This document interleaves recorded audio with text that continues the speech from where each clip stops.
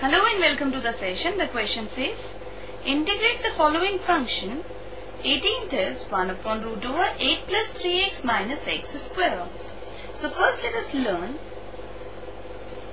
if we have a polynomial of the type ax square plus bx plus c, then to change it as the sum of the squares of two polynomials, its formula is a into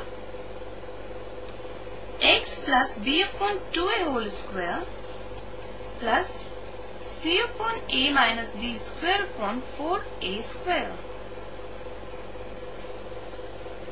which is on page number 614 of your book to find the integral of the type whose denominator is a polynomial. So this is the key idea we are going to use to integrate the given function.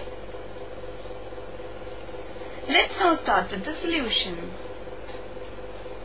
First let us consider the polynomial 8 plus 3x minus x square which can be written as minus of x square minus 3x minus 8.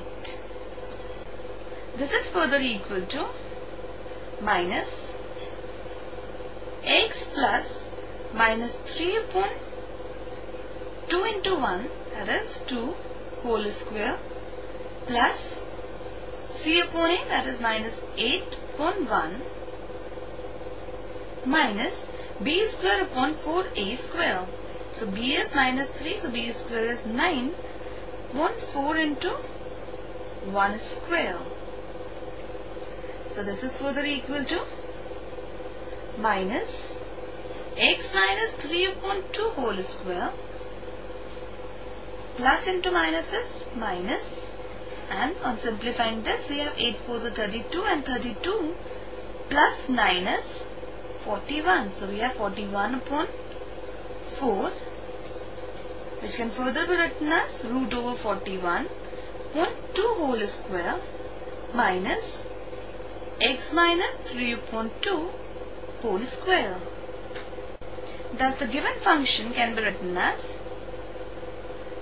1 upon root over root over 41 upon 2 whole square minus x minus 3 upon 2 whole square. Now we have to integrate this function. So we have to find the value of this integral.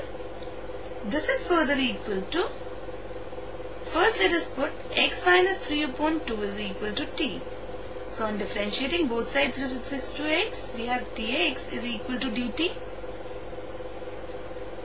So this integral further implies dt upon root over root over 41 upon 2 whole square minus t square and to solve the integral of the type 1 upon root over a square minus x square with respect to x, its formula is sine inverse